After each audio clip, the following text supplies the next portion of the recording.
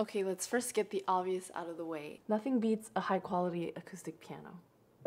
That being said, my super general statement is that any piano that you enjoy playing and that will bring you back to the piano is a great piano to work on. So the only piano that I truly own is this Kawai digital piano.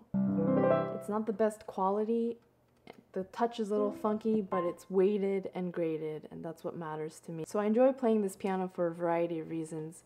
Most of it's personal because I've grown attached to it, but some are very specific reasons. For example, I could use headphones and I could play at any hour of the day without bothering people around me. Of course, if you're playing really heavily, there's that clunky noise, but it's not. Another little thing is that you don't have to tune this ever. So for me personally, I do a very specific type of work on this piano. Studying scores, memorizing music, learning notes to a certain extent, using this as a MIDI keyboard or whatever USB keyboard, and just mm-hmm. fooling around on it on my own terms. Now for classical repertoire, like I said, those specific reasons, I don't really practice anything delicate where I need to be focused on getting a very sensitive touch.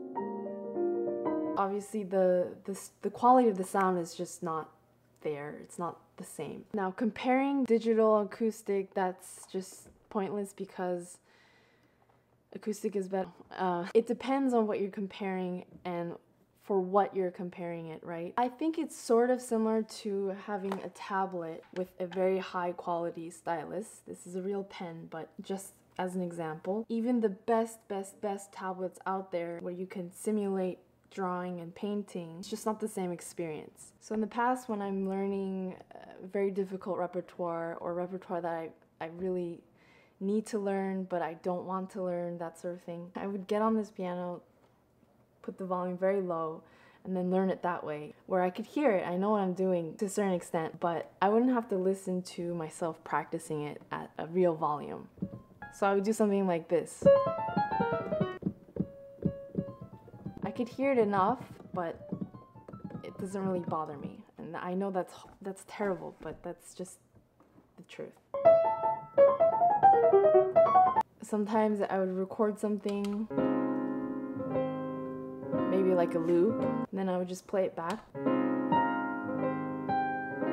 I make sure to put the touch so that's really heavy, the heaviest setting. I don't really care for all of these. So that's it. I really like this digital piano. It's It serves me well and